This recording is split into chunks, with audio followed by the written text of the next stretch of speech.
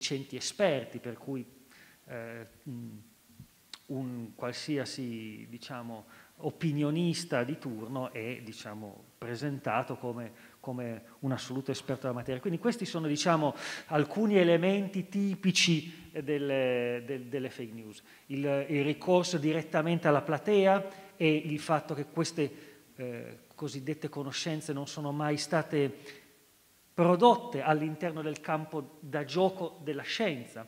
E quindi i convegni e quindi la, il linguaggio con cui gli scienziati diciamo, si confrontano e comunicano, che è quello dei convegni, ma è quello delle pubblicazioni scientifiche, per cui la, c'è la disconoscimento del valore no, delle pubblicazioni scientifiche, esattamente come un quadro può essere ridotto diciamo, non al suo valore artistico ma alla tela sulla quale è disegnata, beh una pubblicazione scientifica sono soltanto quattro pagine, non è il linguaggio con cui anni di lavoro eh, sono comunicati e con cui una procedura e con cui delle prove sono rese disponibili a tutti gli altri colleghi perché le possano valutare e perché le possano riprodurre o eventualmente non riprodurre e quindi diciamo di sconfermare.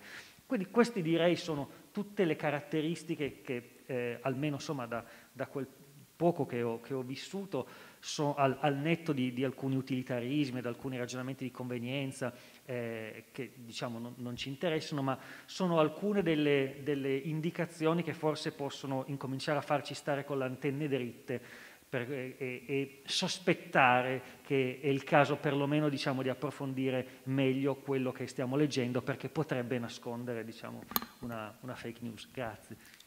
Eh, permettetemi di aggiungere una cosa che Marco... Insomma, nella storia di Marco che ho avuto modo di, di conoscere per eh, eh, rispondere in maniera più approfondita alla domanda di Francesca su come la disinformazione può generare odio, la disinformazione che viaggia sui canali social e su internet.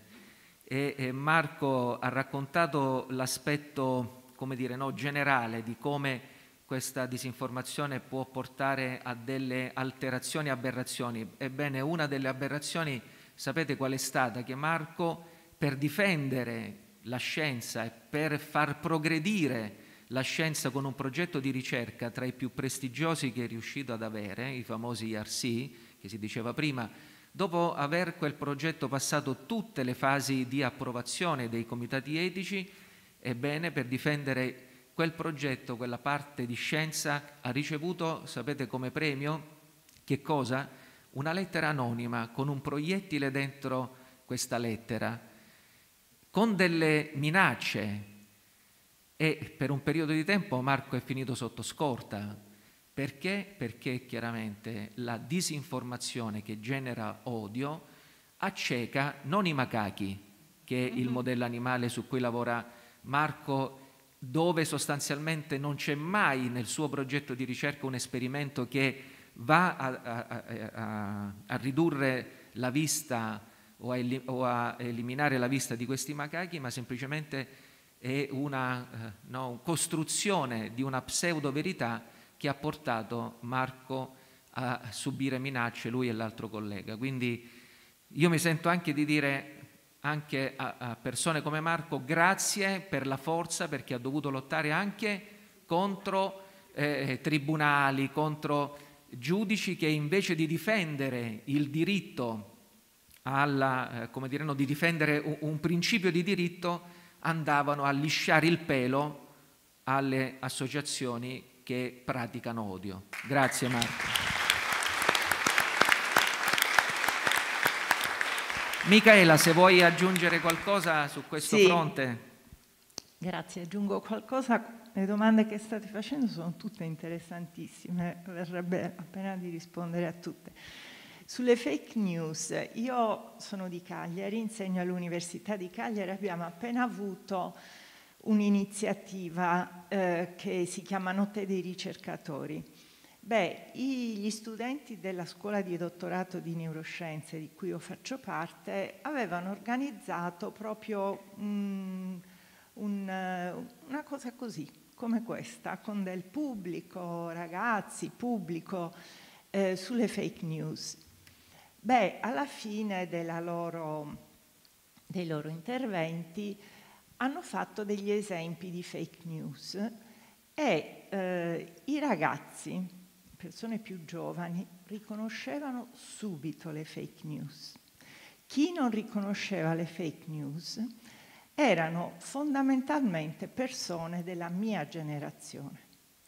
E qui ritorniamo anche al problema del vaccino. Chi non si vuole vaccinare che molto spesso è succube delle fake news perché ha paura del, eh, della modifica del proprio DNA, che ha paura dei chip e di tante altre cose, eh, sono persone di una generazione poco eh, scienziata.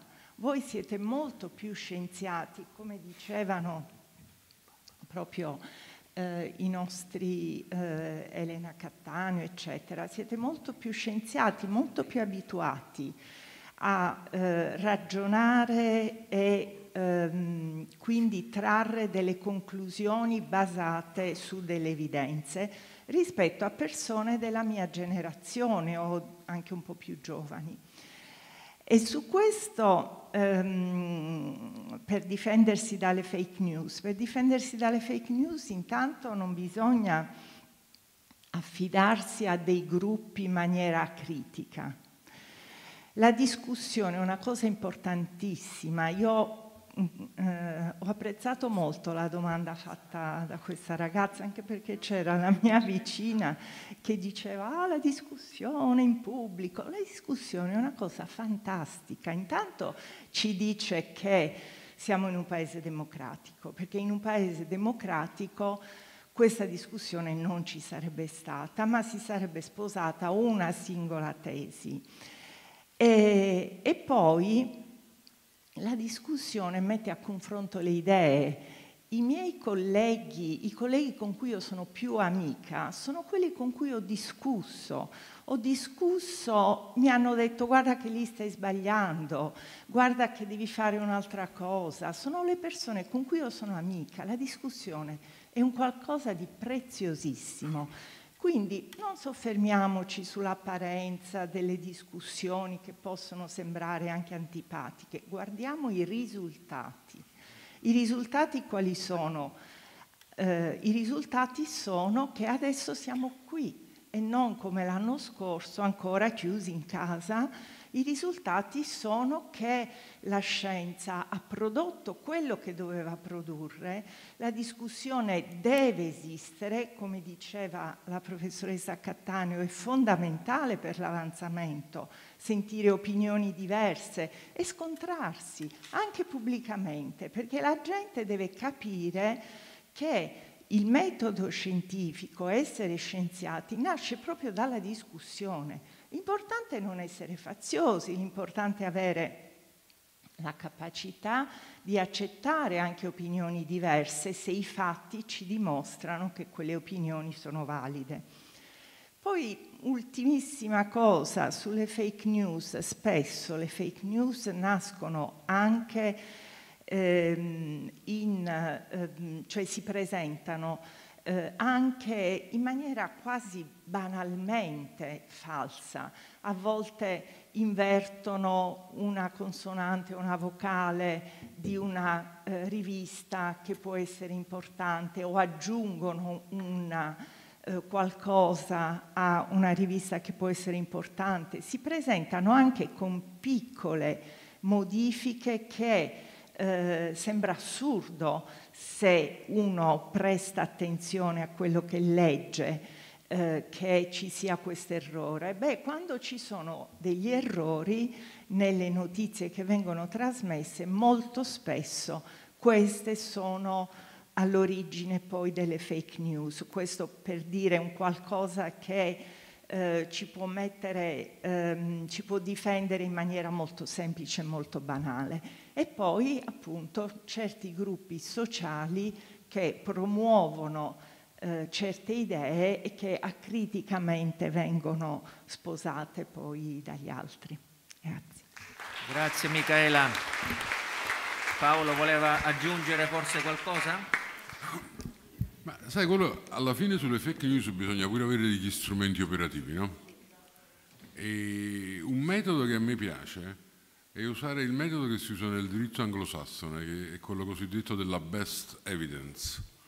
Cioè noi di solito andiamo e raccontiamo tutti i fatti, no? gli antefatti, le costruiamo i nostri argomenti teorici.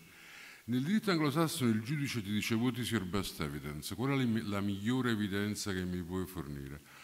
Uh, per esempio nel dibattito Vax-Novax, no? se uno mi chiedesse qual è la migliore evidenza, io direi il 90% degli ospedalizzati non è vaccinato, sono otto parole. Se sei un Novax, non applaudite me perché il vaccino non l'ho fatto io, ci avrei, avrei un sacco di soldi di stare qua.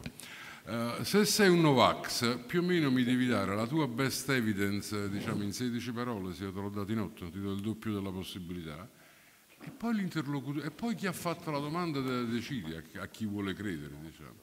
Ecco. di solito quello che succede è che se uno ha una best evidence da offrire, quella è fattuale, breve, circostanziata e ti colpisce come un pugno.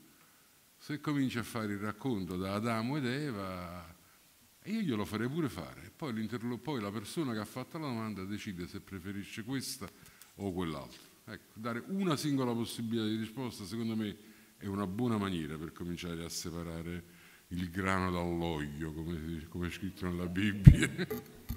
Ottimo. Eh, eh, Sebastiano e Sindaco, avete altri cinque minuti di pazienza, che ci sono i ragazzi che, che c'è un'altra domanda lì e, e vorrei eh, giusto una battuta, no? prima si diceva la paura dei vaccini, quello, quello che sta, ha raccontato Michaela e Paolo. Forse quelli che pensano che i vaccini possano modificare il proprio patrimonio genetico lo devono vedere come un'opportunità, non come un rischio.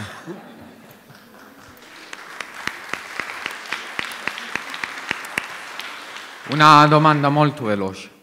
Secondo voi come va interpretato il rapporto tra fede e scienza? Però religione intesa non come superstizione, come religione non superstiziosa.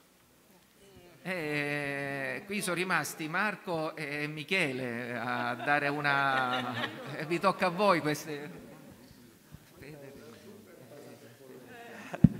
Allora, buongiorno a tutti, sono Marco Norati, vengo eh, dall'Università di Pisa eh, ti ringrazio per la domanda e, e, e, devo anticipare allora una cosa. Ieri ci chiedevamo chissà che domande faranno i ragazzi, parlavamo proprio con Michaela eh, di questo, eh, dobbiamo essere pronti a chissà quelle domande. Beh, questa è una domanda veramente importante. Ehm, non c'è una risposta, cioè, ecco, questo lo voglio dire subito, ehm, però possiamo portare degli esempi. Ora, mi sono trovato eh, in realtà eh, a lavorare, eh, lo confesso, ero in realtà nel laboratorio di Elena Cattaneo, quindi la, conosco bene, abbiamo, fatto, insomma, abbiamo condiviso un percorso insieme. E, e, lì ho cominciato a lavorare sulle cellule staminali embrionali umane. Okay? E quello forse è un argomento eh, in cui c'è stato, eh, c'è tuttora, okay? un dibattito forte tra appunto eh, la scienza, possiamo dire, poi ricercatori eh, che sono al bancone, che ritengono che questo sia uno strumento importante, no? eh, studiare la natura in sé, quindi il concetto di cellula staminale, quella, quel concetto che si chiama anche pluripotenza, cioè mh, mm, come una cellula staminale embrionale è, è in grado no? eh, durante il, il, suo percorso, quindi durante lo sviluppo, quindi per pochi giorni, mantiene questa capacità eccezionale di dare origine a tutti i tipi cellulari che si trovano nel nostro corpo. Noi abbiamo più di 250 tipi differenti di cellule, quindi una singola cellula può costruire diciamo, un intero organismo, no? diciamo, cellula per cellula. Uh, quindi da una parte ci sono ricercatori che portano the best evidence, cioè sono eccezionali queste, queste cellule, come appunto chiedeva eh, il professor Pierpaolo Di Fiore, quindi la best evidence, cioè fanno cose che non fa nessun altro, ok? Eh, dall'altra c'è il dibattito etico, soprattutto diciamo, di origine, possiamo dire, un po' cattolico, di religione in senso lato, poi e fede, ecco io lo porterei poi, a, a, è difficile ancora no? discriminare tra le diverse fedi, no? eh, però possiamo portare un esempio, ecco, che poi abbiamo vissuto proprio sulla nostra pelle eh, in Italia, quindi con un dibattito che è, ancora in corso e, e che eh, invece dice che la vita va protetta dall'istante in cui diciamo, eh, si forma, potremmo dire, quindi a seguito della fecondazione. Anche questo è opinabile, perché comunque non è che nasciamo in un istante, la cellula uovo in realtà eh, deriva già da un organismo precedente, quindi mettere un inizio e una fine anche qui è un po' arbitrario secondo me, il patrimonio genetico già proviene in realtà anche dai genitori e così da tutti eh, i nostri progenitori. Uh, e dice, beh, la vita va protetta e quindi non si può studiare, ok? Cioè questo è il limite, non si può nemmeno studiare questo oggetto perché deriverebbe, diciamo, dal sacrificio, usiamo questo termine, di un organismo potenziale, ok? Che è una vita umana. Ora, uh, è un argomento importante, quindi non lo voglio sottovalutare, non voglio creare il dibattito, diciamo, da una parte o dall'altra. Quindi il dibattito deve arrivare anche, si arricchisce in questa fase, ok? Uh, però uh, ci sono poi delle cose pratiche di cui tenere, no, in, tenere in, considerazione. Uh, nessuno nel mondo, tantomeno in Italia o nei nostri laboratori di ricerca, ha mai pensato di sacrificare una vita umana per poterne studiare la natura, quindi prende una blastocisti, quindi 4-5 giorni dopo la fecondazione, quindi un embrione che diventerà appunto verosimilmente un organismo eh, eh, no, eh, fetale e poi un adulto, per poterlo studiare.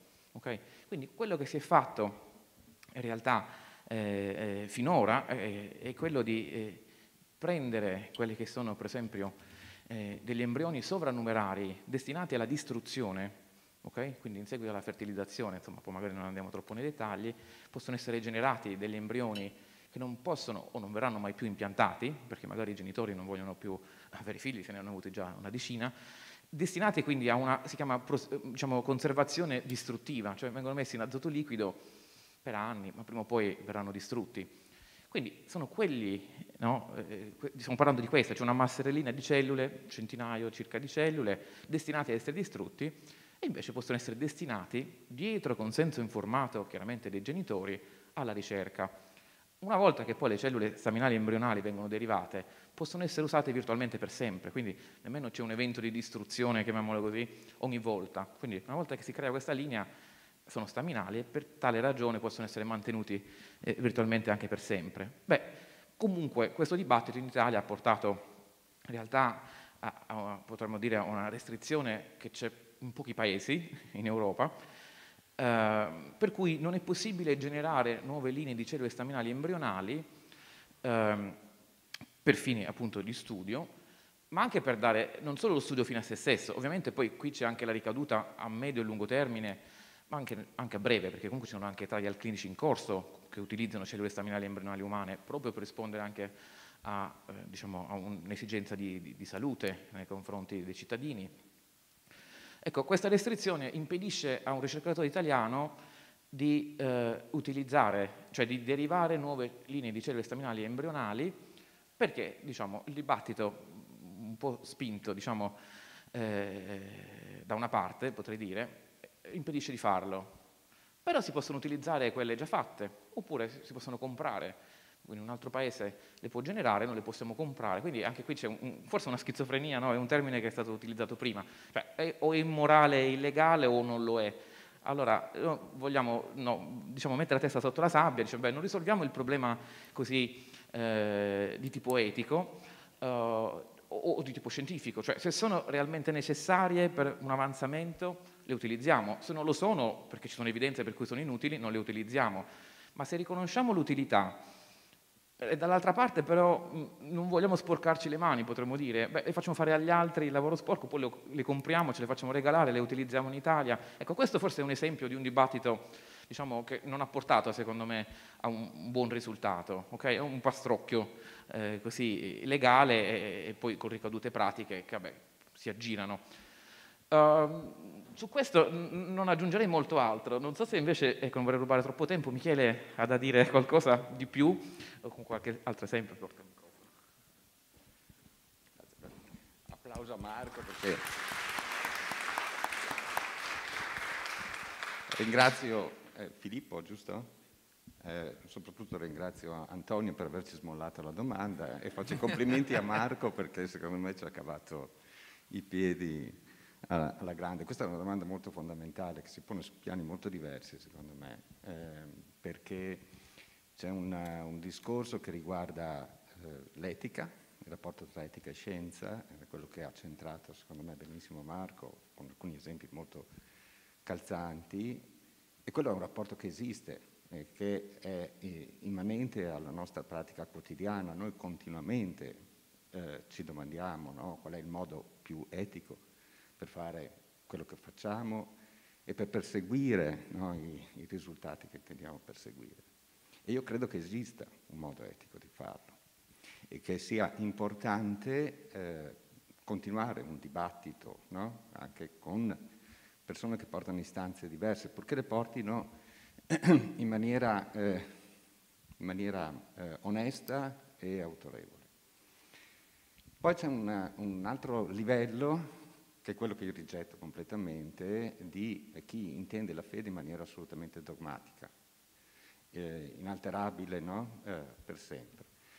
E, eh, e, qui ci sono molte religioni, no? e, diciamo più che molte religioni, forse molti eh, religiosi, addetti, religiosi fedeli, che eh, intendono eh, la loro fede in quella maniera e che possono generare dei danni gravissimi alla scienza, ai cittadini, insomma, ne abbiamo esempi anche recenti, no? eh, si parlava del significato democratico della scienza. In Afghanistan sicuramente um, non ci sarà scienza nei prossimi anni. No? E, eh, e, poi c'è invece un discorso che riguarda la fede, e forse questo era il livello che tu eh, avevi in mente, no? Che è un discorso veramente molto, molto alto. E, e io personalmente, ma penso la maggior parte di noi, ha un atteggiamento un po' agnostico riguardo a questa cosa qui. No? la fede è una cosa molto individuale, prima di tutto, e poi io credo che sia anche una cosa che evolve nel tempo, si rimodella. No? La, eh, la, fede che possiamo avere noi, che possono, avere voi, non è sicuramente il tipo di fede che avevano i nostri genitori, i nostri nonni, no? i miei nonni che sono i vostri bisnonni, no? e, e, ancora più indietro nel tempo. E se ci pensate, no? c'è proprio una trasformazione anche da questo punto di vista e io credo che la scienza, nel senso le conoscenze, abbiano progressivamente rimodellato anche questo, questo concetto. No? Non so se l'idea di paradiso, per esempio, di premio, di al di là che eh, avevano i nostri nonni possa coincidere con quella che abbiamo noi, no? eh, anche delle figure religiose importanti no? nel loro significato di santità. Diciamo. E, e, però, insomma, le, i tre livelli credo che si, che si colleghino fra di loro. E, eh, e la cosa fondamentale è che la scienza possa andare avanti senza incertezze eh, all'interno di una discussione sulla, sull'etica, ma senza incertezze. No? Io ho cominciato a fare il medico, poi ho fatto il medico in maniera strana perché ho abbandonato la clinica, ma eh, diciamo che è sempre rimasto in mente l'Ulisse dantesco, no? Infatti non foste a vivere come i bruti, ma perseguire virtude e conoscenza, giusto? Virtù e conoscenza. Grazie Michele. Io darei la... Ah, Chiudo solo con una battuta, che eh, è una bella immagine. Quindi vi dicevo, vengo dall'Università di Pisa, a Pisa c'è stato Galileo Galilei, il fondatore del metodo scientifico, quindi oggi ne abbiamo parlato, sotto le righe, no, dietro il metodo, il metodo c'era Galileo Galilei. E forse, ecco, l'esempio di Galileo Galilei che ha questa intuizione, eh, no? eh, eh, afferma anche no? Eh, cioè una rivoluzione da un punto di vista della conoscenza che va contro il, sapere codificato nei testi sacri eh, gli costa quasi la testa, come qualcuno dei suoi insomma, eh, colleghi del tempo. Quindi lui accetta a quel tempo, diciamo, pur essendo anche abbastanza conosciuto, di non, di non dichiarare pubblicamente le sue idee, alla fine no, dice eppur si muove, no? Teniamo, cioè, in cuor suo ovviamente sapeva che aveva, che aveva ragione. Ci sono, stati, eh, sono voluti forse eh, quattro secoli no, per poter ritornare forse a un'immagine che spero no, ci lasci un pochino di, di, di, speranza in questo dibattito, in questo divario che poi secondo me non, non esiste ecco, tra fede e, e, e scienza perseguono entrambi una, una, direzione, che è quella no, del miglioramento dell'uomo, okay? quindi non si possono rinnegare l'un l'altro. Eh, e comunque l'immagine che, che, mi viene in mente è proprio quella di Giovanni Paolo II, che in realtà è venuto a Pisa, di fronte appunto alla tomba di Galileo Galilei, eh, insomma ha riconciliato forse questo, questa frattura storica. Okay? Quindi questa è l'immagine che voglio vedere no? eh, in futuro, mi piacerebbe quantomeno. Quindi, uh, grandi, anche lì, cioè, gli scienziati ovviamente perseguono una loro eh, ragione, vogliono provare, certo. Mm, la scienza non ha forse l'arroganza di poter dimostrare tutto, questo è un punto da tenere in considerazione. Non che forse non ci riuscirà un giorno, però oggi è anche brutto sentire dire da, da tanti, tra chiamiamo questi studiosi, beh, siccome Dio è indimostrabile, beh, allora lo rinnego boh, ci sono tante cose che ancora nemmeno riusciamo a capire, eh, okay? quindi per dimostrarle, insomma, diamo, diamo, tempo anche al nostro pensiero di fare il suo percorso. Eh, mh, mm, diciamo che forse appunto eh, questo cammino ha tanti esempi anche no, di grandi eh, del passato. Se prendiamo Einstein, no? anche lui la sua figura eh, è un po' controversa da questo punto di vista. Okay? Cioè, lo cito perché è difficile dare una risposta, possiamo anche vedere un po' gli altri come hanno interpretato. Quindi Einstein stesso cioè, era, un, era, ateo, poi è diventato in realtà un fervente diciamo, credente, eh, mise Dio no? nella sua immagine, Dio non gioca i dati nelle sue eh, diciamo, equazioni, mettiamola così, per poi forse ripentirsene e diventare un po' agnostico. Però è un dibattito appunto che nella vita di tanti grandi ricercatori, scienziati, eh, sempre, si affaccia sempre. Okay? Però l'unica cosa che, che, che mi permetto di dire è non creiamo divari lì dove non è necessario che ci siano. Grazie Marco. Io a questo punto darei la parola all'assessore Sebastiano Leo per aggiungere un altro eh, aspetto, eh, punto nella discussione in questo rapporto scienza, fede, social, sociale e perché no la politica. E Sebastiano mi fa piacere che è qui perché anche lui... Eh, ha supportato eh, la nostra iniziativa, l'iniziativa della Festa della Scienza, l'azione di Apertamente e lo ringrazio particolarmente perché abbiamo trovato nell'assessore una persona comunque sensibile ai temi eh, della scienza e ai temi della divulgazione. Prego Sebastiano. Grazie, un saluto a tutti, ossequioso e anche affettuoso, soprattutto ai nostri studenti. Ovviamente io abbasso il livello della discussione come qualità, insomma. Eh, allora, che dire, sì, io cerco sempre e comunque di, di aiutare eh, i percorsi, secondo me, virtuosi, importanti nelle nostre scuole di Puglia e cerco attraverso i dirigenti, attraverso i docenti, di portare a conoscenza dei nostri ragazzi, insomma, la, grandi, i grandi temi, le grandi opportunità. E ovviamente il lavoro non è molto semplice, occorre dire, impegnarsi molto, occorre essere molto appassionati. Io penso che anche il decisore politico, che non dobbiamo sempre e comunque disprezzare, perché c'è questa tendenza a parlare male della politica. La politica decide, è la politica che occorre tra virgolette, corteggiare e anche, eh, come dire, tampinare come volete voi, ma insomma occorre sicuramente trovare il modo per eh, coinvolgere la politica. Io mi faccio coinvolgere sempre da questi temi. E, ehm, è chiaro però che nella scuola occorre fare ancora molto, occorre costruire ancora tanto e la scuola ha dimostrato, io penso che eh, come hanno dimostrato i nostri eroi, tutti diciamo, i medici, diciamo, chi, chi, ha lavorato, chi, chi, chi ha rappresentato diciamo, la sanità in questi ultimi anni, eh, gli operatori sociosanitari, diciamo, possiamo anche dire, sicuramente lo possiamo dire, che anche i nostri, i nostri docenti sono stati gli eroi di questi due anni perché hanno fatto davvero tantissimo, hanno dimostrato in pochissimi mesi di riuscire anche a a cambiare diciamo, la, le traiettorie, a cambiare quel percorso che se vogliamo era un percorso centenario, da 100 anni, da 200 anni la scuola eh, diciamo, funzionava sempre allo stesso modo, diciamo, le, le, la cattedra, i banchi, la lavagna con il gesso, poi qualche scuola negli ultimi anni ha cambiato un po' e utilizzando la cosiddetta LIM, ma insomma più o meno si usava e si usa come una lavagna allo stesso modo. E, e però negli ultimi anni davvero la scuola ha fatto tantissimo, moltissimo.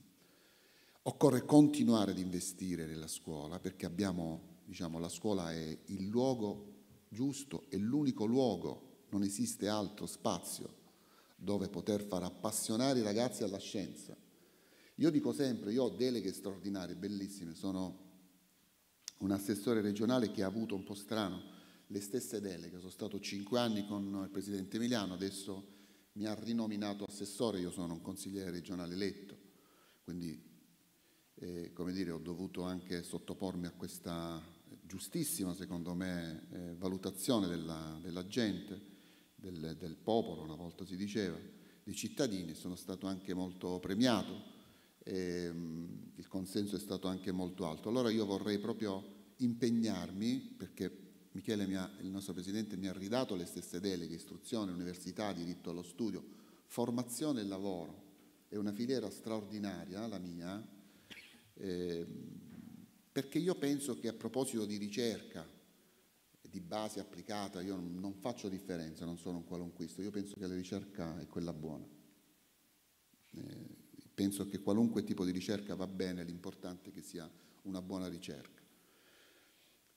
Ed è chiaro che anche nelle università, adesso proprio ieri, l'altro ieri, eh, c'è stata questa, questa, notizia che il ministro Bianchi, che era stato con me eh, assessore regionale, quindi lo conosco molto bene, eh, diciamo, con il nuovo piano, con il nuovo PNRR, eh, diciamo, daremo, daranno tantissime risorse, eh, sia nelle, alle scuole ma anche all'università, anche la ministra ha dato diciamo, delle notizie perché investirà molto nella ricerca, ma noi lo facciamo già in Puglia. Noi spendiamo, investiamo tantissime risorse con gli assegni di ricerca, con i dottorati di ricerca. Refen è stato l'ultima nostra misura, 50 milioni di euro per, per le università. È chiaro però che bisogna essere anche molto più, come dire, bisogna un po' curvare verso il mondo del lavoro. Io lo so che molto spesso qualcuno di noi o di voi lo ritiene non troppo, non troppo giusto. Ehm, è chiaro che la ricerca deve essere libera, su questo non ci sono dubbi, e però occorre, come dire, curvare, come dicevo prima, verso il mondo del lavoro, perché altrimenti non, diciamo, non costruiamo percorsi virtuosi.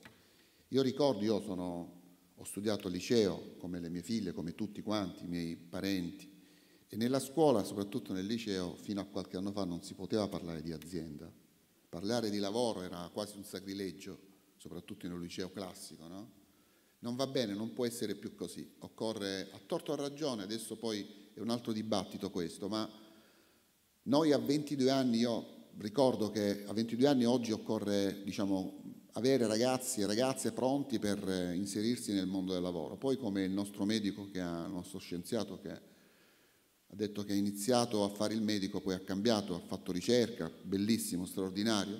La ricerca bisogna renderla anche molto attraente, come stiamo facendo oggi noi, anche divertente, eh, quindi far appassionare i nostri ragazzi con gli strumenti, con le tecnologie, insomma occorre essere molto dinamici. Noi sino a qualche anno fa pensavamo che gli scienziati erano un po', come dire, barbuti, no? un po' solo uomini, adesso fortunatamente ci sono le, anche le donne, quindi diciamo, si è modificato un po' tutto ed è questo che deve succedere. Anche la parità di genere è fondamentale, straordinaria. Noi abbiamo prodotto qualche mese fa un'agenda di genere straordinaria, eh? non, solo, diciamo, in, diciamo, non, solo, teorica, ma anche molto pratica, nel senso che abbiamo, dobbiamo fare, costruire nei prossimi anni tanti investimenti, tanti, tanta ricerca, tante attività.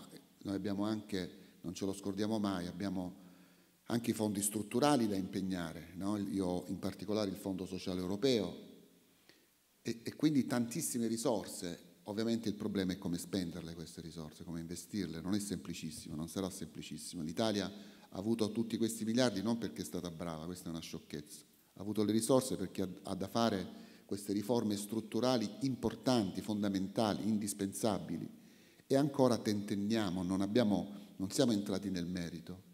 Anche sul PNRR non stiamo comprendendo bene quello che occorre fare. Quindi questo è importante, tra le altre cose cito un esempio, a me piace molto fare sempre diciamo, esempi che poi calzano bene nei ragionamenti.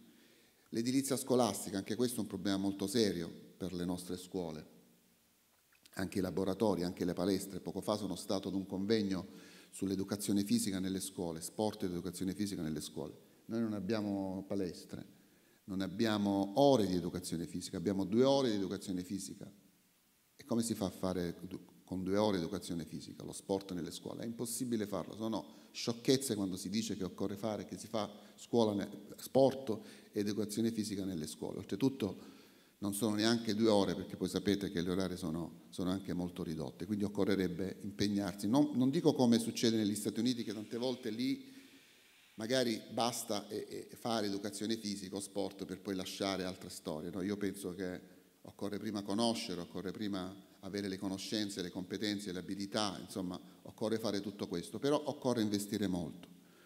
Questo lo dobbiamo fare, questo è il momento giusto, questo è il tempo giusto. Dicevo l'esempio, io con l'edilizia scolastica il mio assessorato ha dato risorse importanti in tantissimi paesi della Puglia. Ci sono ancora paesi, tanti paesi, da un paio d'anni, che ancora non hanno appaltato le opere per la costruzione, per l'ammodernamento, per l'efficientamento delle scuole. E questo è un problema nazionale, non è un problema solo eh, pugliese, che la Puglia, come tutti sappiamo, è una regione virtuosa, al di là della politica, ma comunque è un dato di fatto, anche nell'impegno delle risorse comunitarie. Allora bisogna impegnarsi davvero, questo è il tempo giusto, è il momento giusto per impegnarsi e per fare quello che ci stiamo dicendo, perché poi noi lo sappiamo, le conosciamo le, i temi, le problematiche e quello che dobbiamo fare. Ne abbiamo fatti tantissimi di programmi, no? di, abbiamo parlato tanto, siamo bravissimi a parlare, anche i nostri ricercatori sono bravissimi non solo perché studiano, ma perché abbiamo un estro diverso rispetto agli altri paesi europei. No? E allora dobbiamo impegnarsi molto, dobbiamo mh, lavorare insieme, dobbiamo condividere idee e progetti, bisogna cooperare eh, bisogna abbandonare l'ascia di guerra, invidia e gelosia bisogna accantonarle. Il Salento molto spesso viaggia, soprattutto i comuni viaggiano da soli, diciamo, non è un caso, la storia è importante, è una delle mie materie preferite. I 100 comuni della provincia di Lecce non è un caso no, che siano 100 comuni, perché ognuno ha voluto il proprio campanile. E allora invece in questo momento, in questo periodo occorre invece stare insieme, eh, collaborare, costruire progetti virtuosi, progetti integrati, progetti con un ambito territoriale ottimale, perché il paese, il piccolo paese e la, la regione Puglia non può da sola costruire progetti importanti, deve necessariamente allargare gli orizzonti. Ed è chiaro che i nostri ragazzi e ragazze devono avere orizzonti anche importanti, ampi, è chiaro che devono viaggiare, devono conoscere altri territori, devono studiare anche all'estero, devono, ci sono gli strumenti, dall'Erasmus a tanti altri strumenti. L'importante è che poi diciamo, ci siano anche qui nel nostro territorio le opportunità per fare ricerca, per fare scienze, per fare attività di formazione, eh, perché oggi il mondo si è anche se vogliamo ridotto, rimpicciolito rispetto alle distanze. Le distanze sono anche molto brevi la pandemia, il Covid ce lo ha eh, comunicato, ce lo ha dichiarato. Picco, da un piccolo paese in una qualità sperduta del mondo, la pandemia si è sviluppata in tutto il mondo, quindi il mondo oggi è globale, non, non, non teorizziamo più la globalizzazione, la pratichiamo. Quindi dobbiamo impegnarci per studiare tanto, ragazzi, lo studio è fondamentale. Io penso e chiudo che, tra virgolette, si può acquistare quasi tutto nella vita, anche la salute, molte volte tenendo presente che l'Italia è un paese virtuoso da un punto di vista della sanità, la sanità è per tutti, è di tutti. Gli ospedali non guardano se uno è ricco se uno è povero, fortunatamente l'Italia è ad altissimi livelli per questo, però se uno ha tanti soldi può anche andare all'estero nelle cliniche più importanti al mondo. L'istruzione e la formazione no. L'istruzione è l'unico ascensore sociale, quello che davvero ti dà la possibilità di raggiungere risultati importanti e straordinari. Grazie a tutti. Gra- grazie, grazie, Sebastiano. Eh, c'era Rosario che voleva dare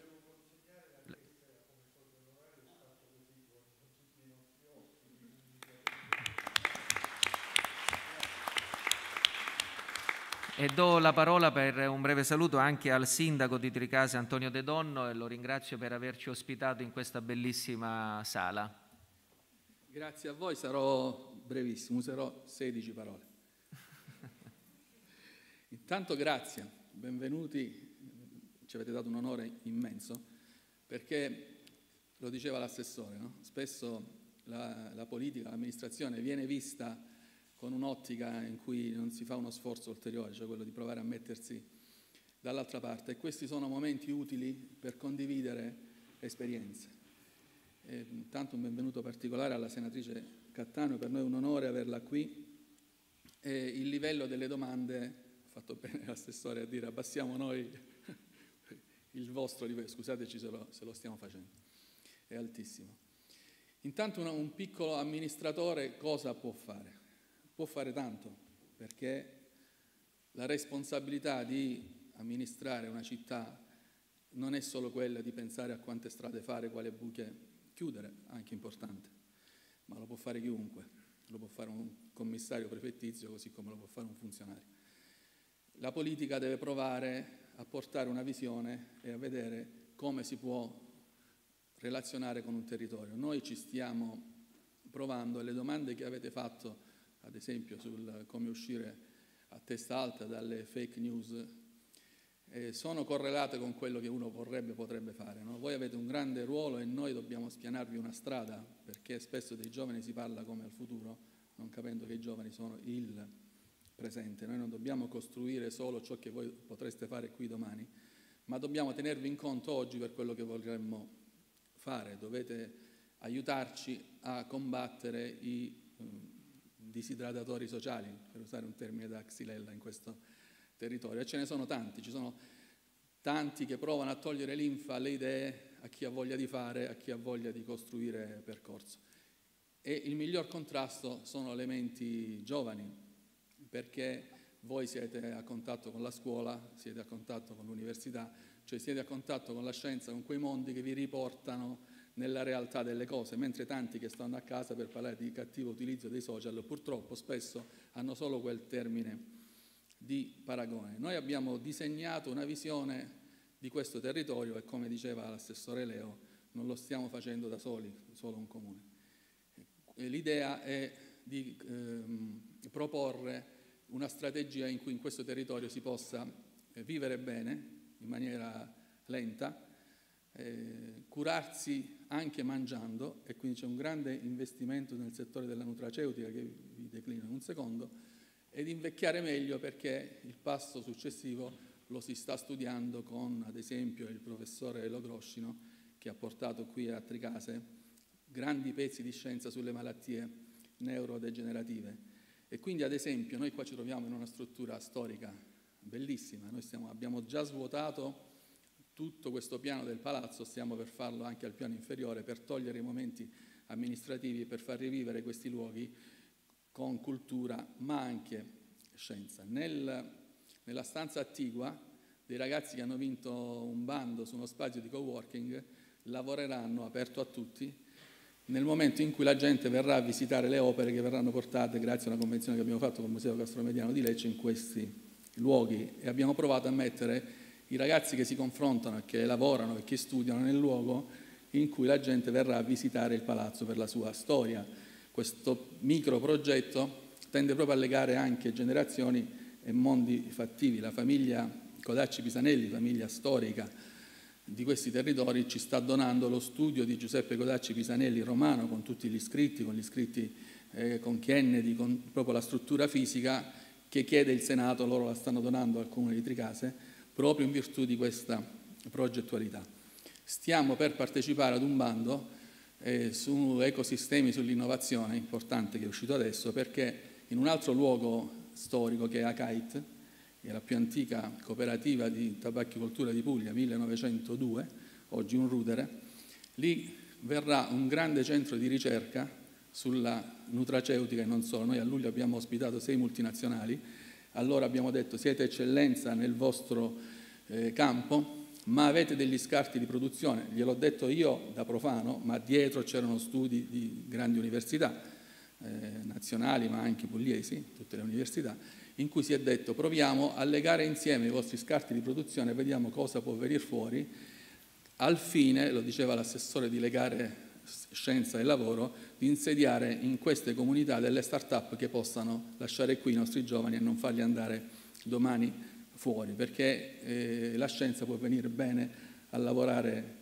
qui e a creare e qui. Questi percorsi stanno avendo ormai una definizione, è uscito il bando a cui volevamo partecipare e a questo bando parteciperanno eh, l'Istituto Agronomico del Mediterraneo, il Comune di Tricase, l'ospedale Cardinale Panico che sta cercando di caratterizzarsi come istituto di ricerca sulla, eh, nutra- sulla, sulle malattie neurodegenerative e anche Enel. Perché Enel faccio questo?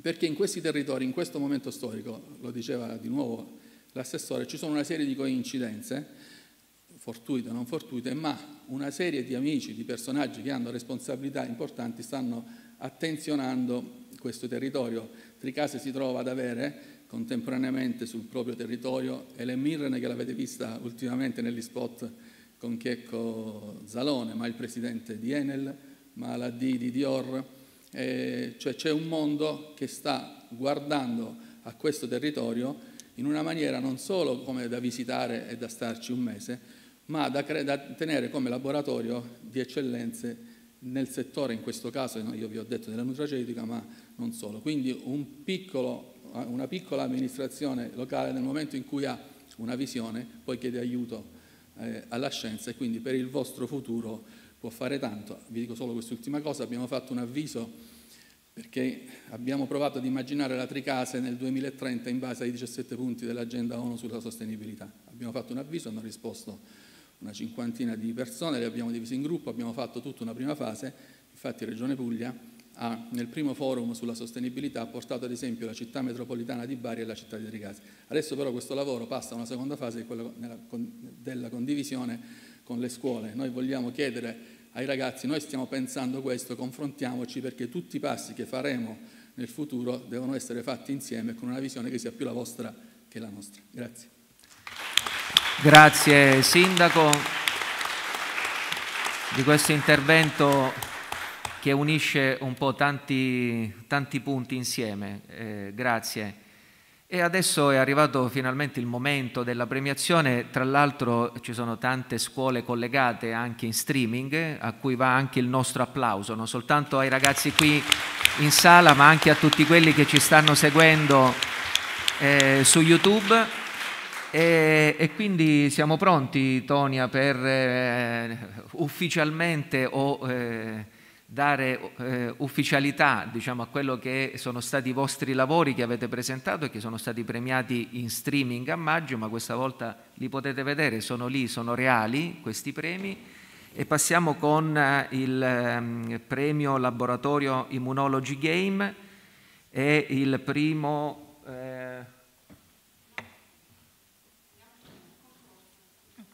Ah, il concorso lampi di luce. Eh, allora, il concorso lampi di luce, partiamo con il terzo, giusto? Il terzo classificato.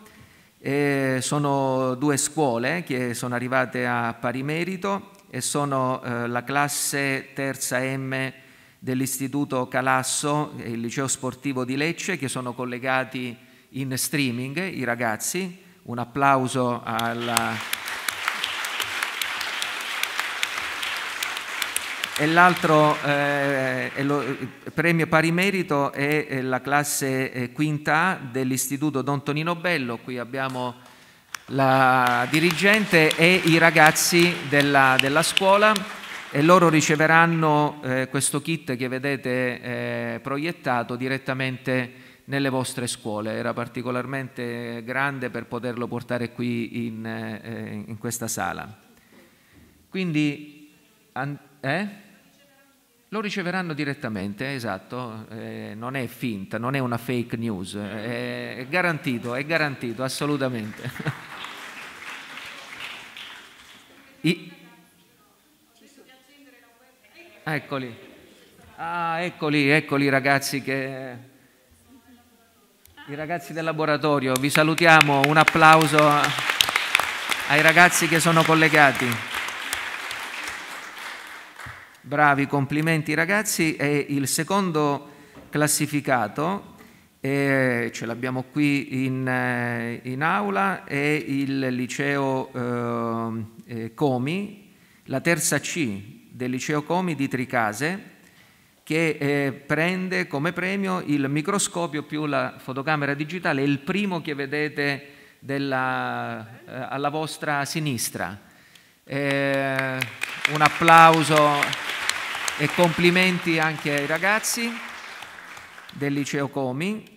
E il primo classificato eh, l'ha già ricevuto il premio in aula, è, una, è, un monitor interattivo multitouch 65 pollici, magari ad avercelo, no? eh, quindi è stato già consegnato, forse c'è una foto, eccolo qui la foto della consegna del premio e, e, la classe vincitrice la classe quarta A del liceo Stampacchia di Tricase.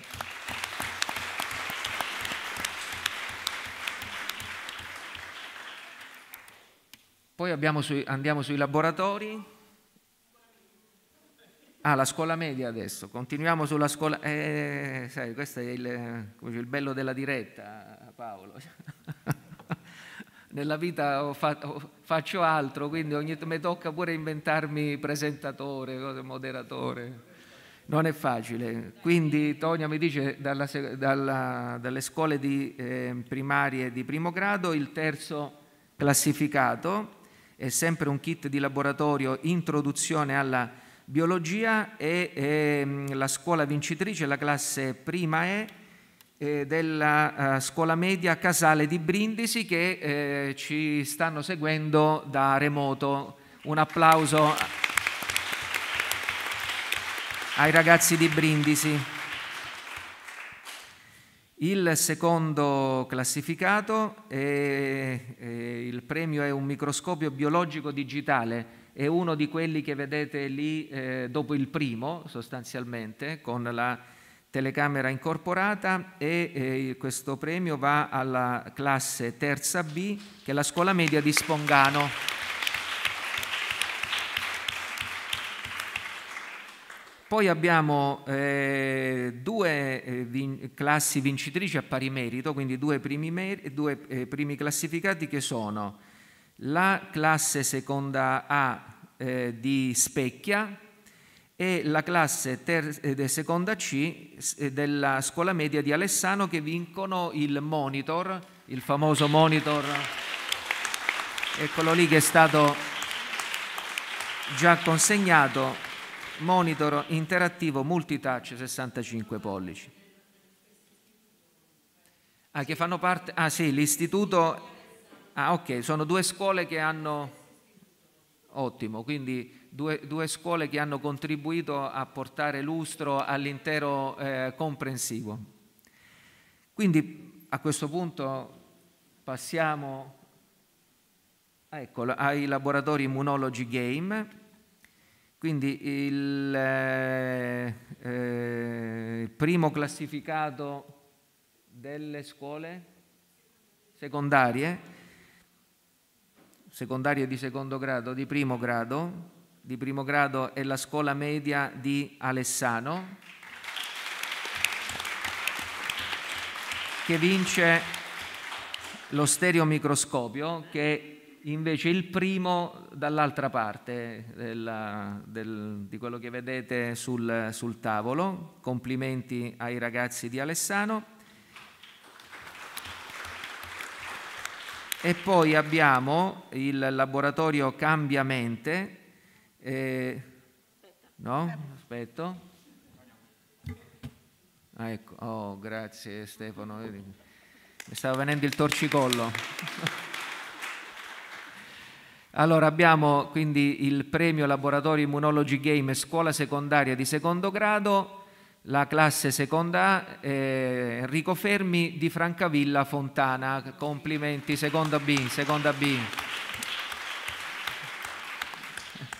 Che sono qui ragazzi di Francavilla, ci siete? Eccoli, alzatevi, fatevi vedere, vengono da lontano, quindi bravi ragazzi e grazie per eh, essere venuti. Quindi passiamo... Ah no, muovi tu? Pure qua? Eh, appunto. Ah, qua non si muove niente. Ah, quindi me, mi state facendo... Eh, lo state facendo apposta. Guarda, faccio prima se mi giro così. Laboratorio cambiamente. Bene. Che abbiamo come laboratorio cambiamente scuola secondaria di eh, primo grado eh, primo classificato microscopio digitale e la, scu- la classe terza B scuola media di Spongano, bravi, che, credo siano pure qui, giusto? Dove siete ragazzi? Eccoli là.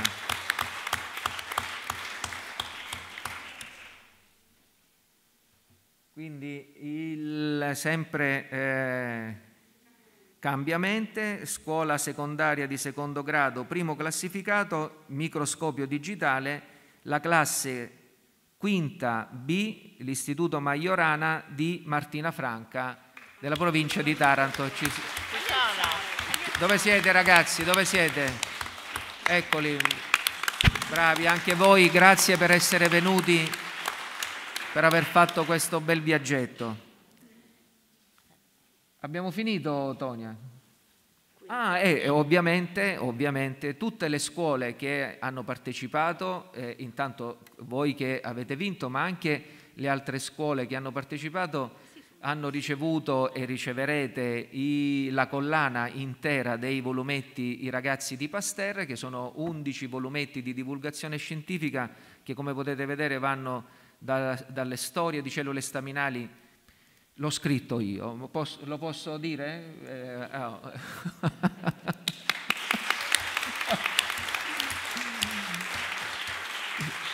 Dal eh, sistema nervoso, l'epigenetica, eh, il ruolo del microbiota, eh, il, la, guardiella del sistema immunitario, che l'ha scritto? La professoressa Angela Santoni ins- in, insieme ad un altro eh, super esperto che è il professor Mantovani, quindi è eh, un modo eh, carino, divertente di raccontare la scienza, come vi dicevo, in modo rigoroso e se chi vuole da subito capire di che cosa si tratta può andare direttamente alla fine eh, dove ci sono i, i, fumetti, il fumetto che racconta la storia in, in poche diciamo, pagine, la storia dell'intera eh, diciamo, struttura del volumetto.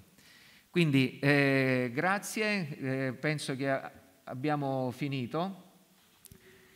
Eh, possiamo eh, proiettare in conclusione i video dei due vincitori di, eh, eh primi, diciamo del, del, del, primo premio, i primi classificati. Lasciatemi eh, giusto proprio per fare una sintesi, prima di lasciarvi al racconto dei ragazzi, la sintesi eh, di quello che è un po' il pensiero che è scaturito oggi sia dalle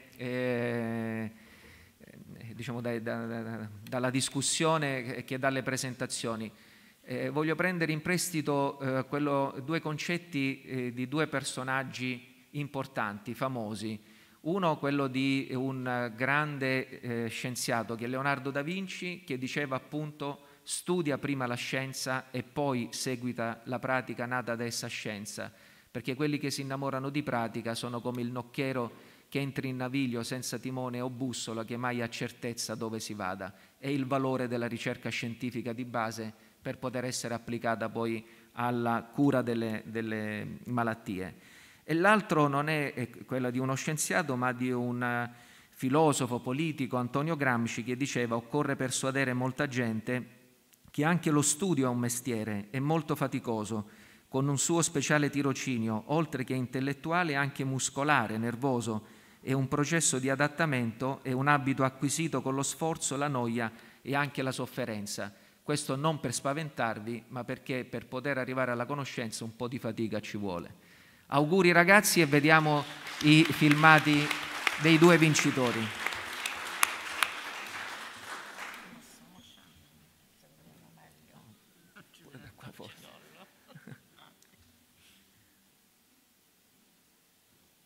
Ferrabile, apparentemente finito.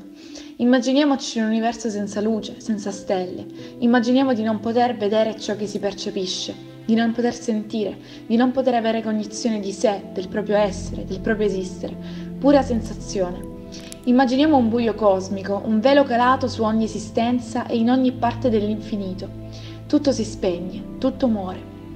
Immaginiamo ogni singola luce spenta, ogni lampadina, ogni stella, ogni fuoco, tutto ciò che ci circonda è vuoto, scuro, freddo, inimmaginabile. Dopo appena otto minuti dallo spegnimento del sole, ogni angolo della terra si troverebbe al buio, le piante non avrebbero di che riprodursi, tutto diventerebbe ghiaccio nel giro di poche settimane. Non potremmo esistere senza luce, costante universale dell'universo, radiazione elettromagnetica la cui velocità rappresenta il limite asintotico per tutte le velocità che possono essere impresse ad un qualsiasi oggetto materiale, il cui spettro visibile all'occhio umano ci permette di osservare, sentire, vivere.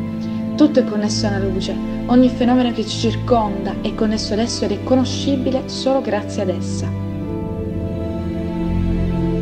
Fino a 200 anni fa, le persone vivevano e lavoravano per la maggior parte del tempo all'aperto, sotto la luce del sole per ore e ore. Sin dai tempi dei greci e dei romani, infatti, la luce del sole era considerata un mezzo prezioso per prevenire e guarire molte malattie. L'elioterapia, sperimentata in maniera sempre più assidua sin dal Rinascimento, giunse ai risultati più eclatanti nel 1903, quando Niels Finsen vinse il premio Nobel per la medicina per il suo uso dei raggi ultravioletti contro la tubercolosi della pelle. Effetti positivi della luce ultravioletta sono ad esempio l'induzione della produzione di vitamina D nella pelle, che garantisce numerosi benefici, soprattutto a livello dermatologico, un esempio ne è infatti la terapia PUVA, e nella prevenzione di malattie infettive e degenerative, come il tumore al seno, al colon, all'ovaie e alla prostata. Una giusta quantità di raggi luminosi può avere molti benefici sull'organismo e sull'umore. Questa evidenza scientifica si fonda sul fatto che la luce solare che filtra attraverso la retina dei nostri occhi è in grado di condizionare, attraverso una via nervosa diretta, l'attività della ghiandola pineale, situata più o meno al centro del cervello. La presenza o meno della luce solare infatti condiziona il rilascio di alcuni ormoni nell'individuo. L'esposizione ai raggi stimola la produzione di serotonina, che aiuta a mantenere la calma e la concentrazione. Al contrario, l'assenza di luce solare attiva la produzione di melatonina responsabile del sonno. Bassi livelli di serotonina sono associati a una maggiore possibilità di depressione come il disturbo affettivo stagionale o SAD. Nell'arte la luce svolge un ruolo fondamentale.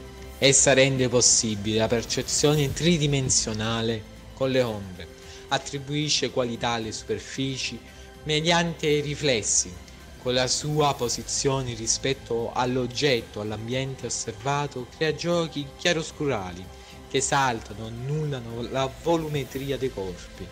Con la sua ampiezza e potenza crea illuminazioni, violente o delicate, concentrate o diffuse, che attribuiscono un carattere espressivo all'ambiente o all'opera.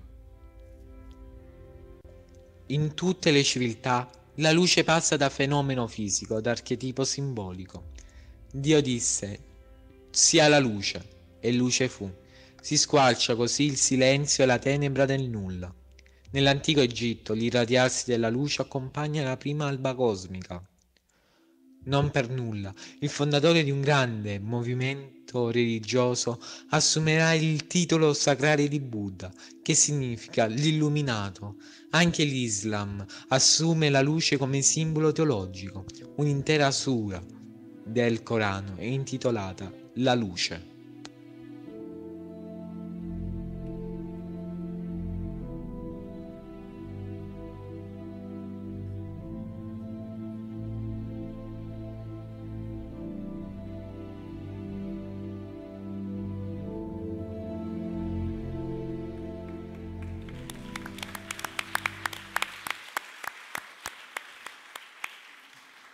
Complimenti di nuovo ragazzi e vi anticipo che stiamo già lavorando per la, eh, preparare la festa della scienza del 2022 che sarà a maggio. Speriamo veramente come oggi in presenza, molto più numerosi sia voi che siete qui, sia eh, i ragazzi che sono collegati in streaming. Quindi intanto faccio un invito eh, come dire, preliminare ai vostri dirigenti, riceveranno tra qualche settimana la lettera di invito eh, sarà, se non sbaglio, la, la, il secondo weekend di maggio e anche quest'anno avremo illustri ospiti. Eh, non vi voglio anticipare nulla, ma sicuramente sarà un'altra bella esperienza di festa dei saperi. Seguiteci e ci divertiremo insieme. Grazie, auguri.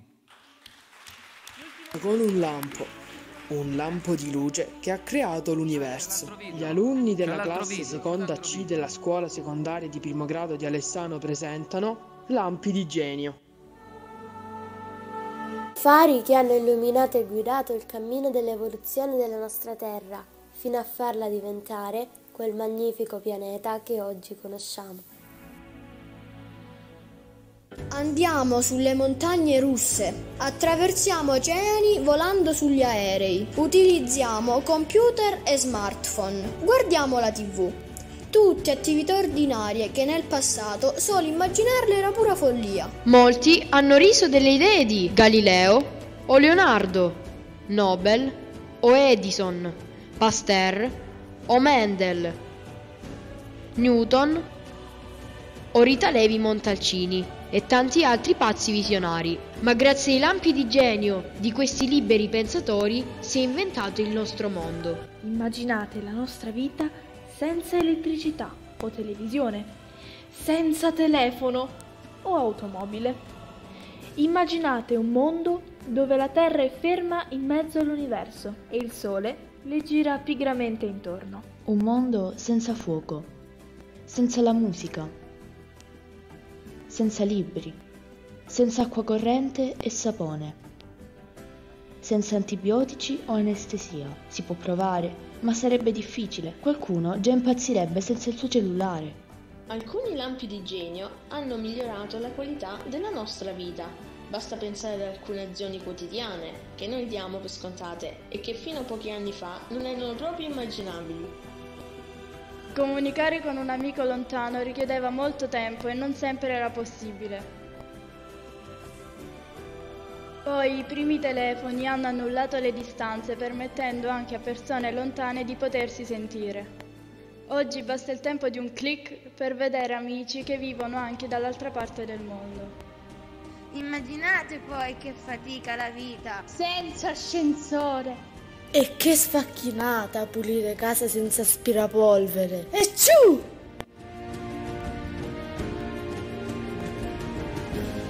Per non parlare poi della lavatrice. Ci volevano i muscoli per lavare i panni. Immaginate poi come poteva essere mangiare una bistecca cruda. Bleh. Un lampo di genio rivoluzionario è stato proprio la conquista del fuoco per riscaldarsi illuminare il buio, scacciare gli animali e cuocere il cibo. Un altro lampo di genio, l'invenzione del motore e zappare la terra diventa quasi quasi divertente.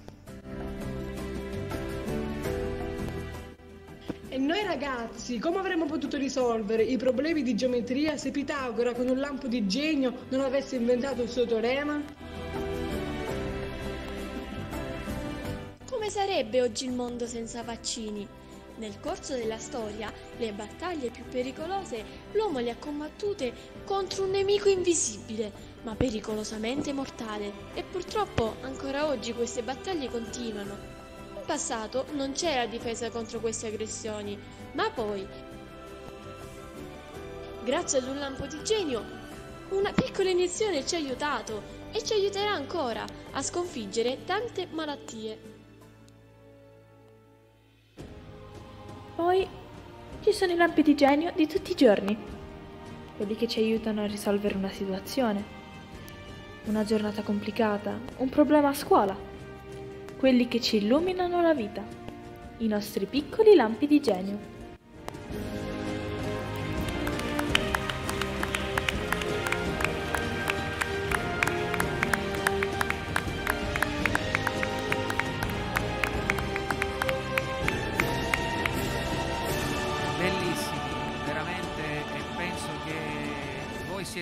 Migliori comunicatori del, della scienza, quindi continuate veramente così e, e magari ci rivediamo a maggio, eh? ci conto. Auguri.